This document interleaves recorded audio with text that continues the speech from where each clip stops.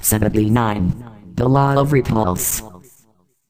This is also known as the law of all destroying angels, and its symbol is an angel with a flaming sword, turning in all directions.